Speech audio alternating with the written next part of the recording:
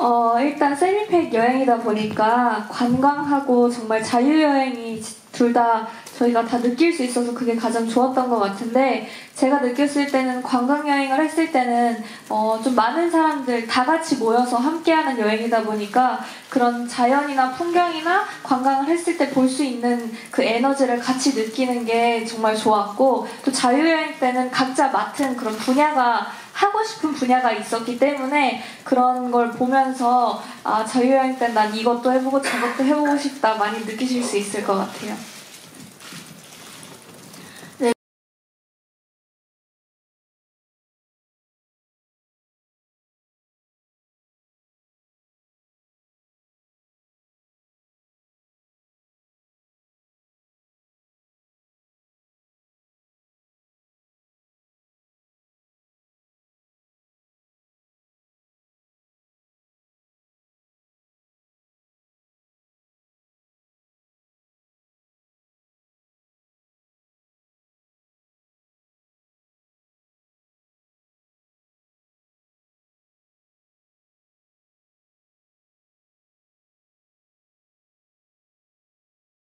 이고 또 자유여행을 하는 것도 처음인데요.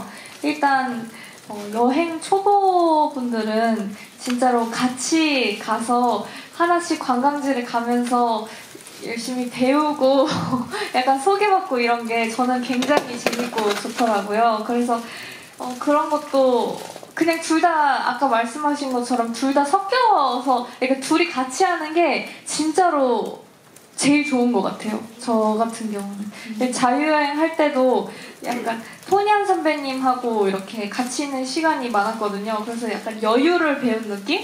가서 저는 여행 가면 무조건 막 돌아다녀야지 막 생각하고 있었는데 아 느긋하게 막 이런 거 그렇게 해가지고 네 재밌었어요. 네, MJ입니다. 어, 일단은 패키지 여행을 했을 때 제가 제 10가지를 넘게 먹은 것 같은데 어 일단은 그 이 이름도 말해도 되나요? 부바건프라는 곳에 가서 제가 새우 요리를 정말 좋아하는데 네. 거기서 새우에 대한 모든 요리를 먹어봤어요. 그게 진짜 맛있었고 그리고 토니안 선배님하고 무슨 철판에 해물을 막 구워 네. 스테이크랑 막 해물을 구워 먹는 거 했는데 그때 막 불쇼도 막 해주시고 음. 그랬거든요. 그것도 진짜 맛있었어요. 거기 완자가 진짜 컸거든요. 네.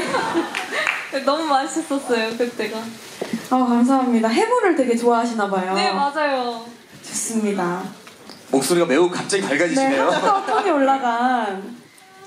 네, 그럼 토니안 씨에게 온 질문입니다.